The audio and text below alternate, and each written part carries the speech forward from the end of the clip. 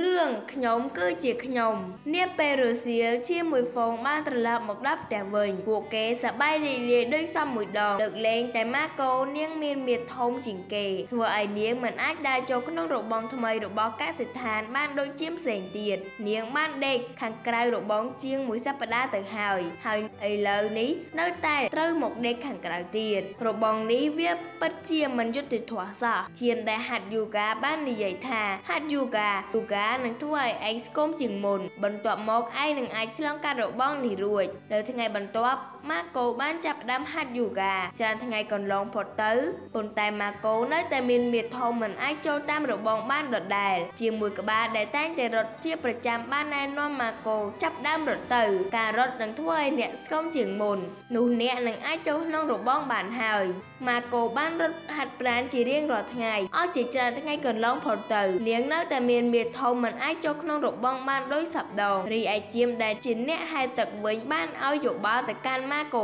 ថាចាប់ផ្ដើមហែទឹកទៅ វានឹងធ្វើឲ្យអ្នកស្គមជាងមុនអាចចូលក្នុងរបងបានដូច្នេះម៉ាកូក៏ចាប់ផ្ដើមហែទឹកប៉ុន្តែនាងនៅតែមានមាឌធំមិនអាចចូលរបងបានដដែលប៉ុននេះបានជិះមកបង្អួតកង់របស់ខ្លួនហើយនិយាយថាជិះកង់ទៅម៉ាកូការជិះកង់នឹងធ្វើឲ្យអ្នកស្គមជាងមុនខ្ញុំធានាថាវានឹងជួយឲ្យឯងចូលក្នុងរបងបានម៉ាកូមានការតូចចិត្តជាខ្លាំងនាងនិយាយថា បានហើយខ្ញុំចង់ទៅផ្ទះវិញ នាងគិតហើយគិតទៀតក៏សម្រេចចិត្តចេញដំណើរពី3ថ្ងៃកន្លងផុតទៅម៉ាកូបានត្រឡប់មកវិញម្ដងនេះនាងមានផែនការរួចជាស្រេចនោះគឺឧបករណ៍ជំនួយ នៅថ្ងៃបន្ទាប់ម៉ាកូបានងើបពីគេងនៅកន្លែងដែលនាងចូលចិត្តជាមដតីទៀតមានការភ្ញាក់ផ្អើលយ៉ាងខ្លាំងពួកគេបានសួរប៉ុន្តែ